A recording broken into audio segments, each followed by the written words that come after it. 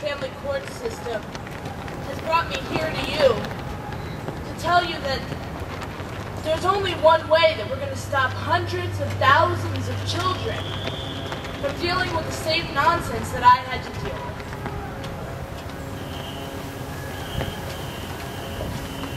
Though the family courts claim to be out for the best interest of the children, I think that we all know differently. Uh, right. In my eyes, the best interest of the children is equal parenting, 50-50 visitation. There is no other way for a child to grow up happy, at all.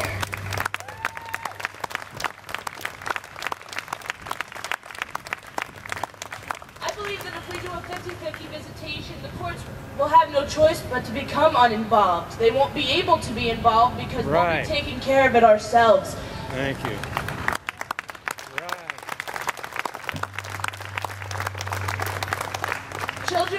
Need both of their parents. And as the daughter of fallen hero Wilbur Streett, I wish that my parents had split custody equally. Um, had they put aside their own pain and hatred and decided that, you know, we're going to look out for the best interest of Kim here, I think that my life probably would have been a lot more ideal, especially my childhood. Uh, divorce is hard enough without a child having to deal with hearing their mother and father fight over money and who's going to have them and watching their father get arrested for non-payment of child support.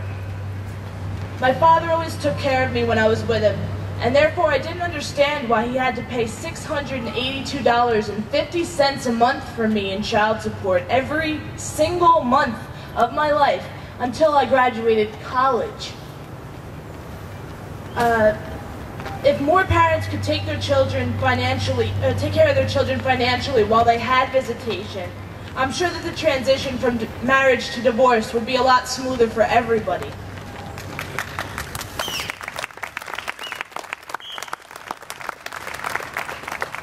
The judges and lawyers seem to look at people as ATMs rather than as people who have real emotions. Uh, rather than pushing the love of their child and, and reminding them that the person that you're fighting now in court is the person that you loved a couple of years ago, that you wanted to spend the rest of your life with. And instead they use the hatred that the, the people have for each other and push them against each other. And it's obvious that the best interest of the child is thrown aside as the lawyer's bills grow and grow and grow. And in my case, my mother and father spent thousands of dollars on attorneys, and I ended up with no college fund as a result. Uh, there was just nothing left after the attorney took it all. My dad ended up spending a ridiculous amount of money every month, and he did it basically just to avoid spending any more money on an attorney because he couldn't take it anymore. Eventually, my father ended up getting arrested and beaten by the Monmouth County Sheriffs, who claimed that he owed child support. I went with him to speak to a woman, and he proved to her that not only had he been ch paying child support, but that he was owed child support. That he had been paying my medical bills and my mother hadn't paid a cent that he had bought me glasses, braces, uh, you name it. My father was there for me to do it for me. And my mom just didn't find any interest in things like that. After they beat him up, they charged him, they charged him, that's pretty funny actually, uh, with assaulting a police officer and uh, resisting arrest. He then had to fight off five years of jail time and he became unemployed. And now he actually wasn't paying child support because not only was he unemployed, he was not able to get a job because he had Monmouth County probation on his uh, on his record. Nobody wants anybody with Monmouth County probation on there. Uh, as I was taken away from my father my sophomore year of high school, and I kind of sat back and watched as my father's life started to decay. While I was dealing with my own depression, I watched him fight off charges and get thrown in jail. My stepmother divorced him for a divorce attorney, ironically enough, and he taught her how to manipulate the system. He taught her that if she said that he beat her, then she could say that he's a threat to the children and he can't have them, and that means more money for her. Exactly. Well, she ended up paying alimony. My dad ended up moving into a single room apartment and living by himself with mounds of paperwork around him. And uh, he was trying to fight off my stepmother's false accusations and things like that. She claimed that he threw her, he grabbed her by the wrist and threw her across the room onto the waterbed, which is absolutely impossible because my father had just been diagnosed with Lou Gehrig's disease and had a specialist prove that he cannot lift more than five pounds. Uh, she continued with the with the allegations and continued saying that he was a bad parent and that he couldn't see his kids. So we got supervised visitation on Sundays with Julia and Nicholas, and I finally went to the courts and said, this is enough. It's been two years since I've seen my father. I'm going to see my father whether you like it or not because he's dying. I. Thank you.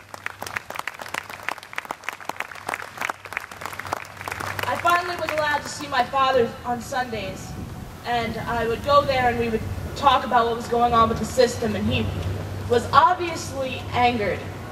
Um, he told me that he was going to dedicate his every waking moment in the next two to five years that he had of life to making sure that neither Julia, Nicholas, or I had to deal with any of this ever again. And he fought, and he got 60 fathers released from jail on Father's Day. He, uh, he we went to see Brian Armstrong in New Hampshire, uh, well, his family, because Brian had been killed in the jails. And I realized that my father was passionate and dedicated, and I was turned on to the cause through him.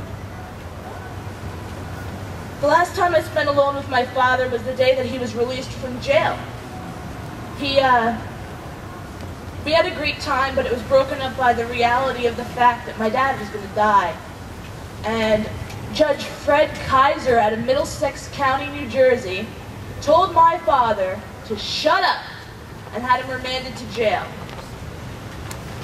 If you ever saw my father when right before he died, he was a walking skeleton. The man looked like the living dead. I loved him, but he was really sick at the end of his life.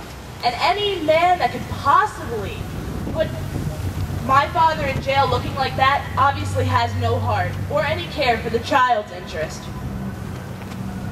I've been flooded with emails um, since my dad died. He was supposed to come and give me his last $200. And he never showed up. Instead, my grandfather found him the next day in his apartment. Uh, many people flooded me with emails, and I finally got a call from William Wagener. And we, I did an interview with him along with my father's interview. It's now posted on the internet on secondthought.tv. And he is backing me now so that I can go out and lobby to different states and try to put an end to this corruption. I'm, I'm taking the torch from where my dad left off. All right.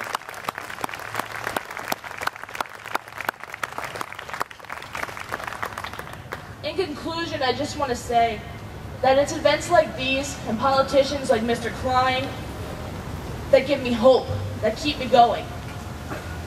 I'm speaking on behalf of all children because I needed my mom and dad and I was denied. I'm living on welfare now in Asbury Park, New Jersey. It, it's real. there's no more there's no more sugar-coated anything for me. Ever since my dad died, every, I got kicked out of my mom's house. She told me she didn't want to be my mom anymore. No more paycheck coming in for me. And uh, she considers me to be a full-time job and a hassle rather than uh, as her loving, caring daughter.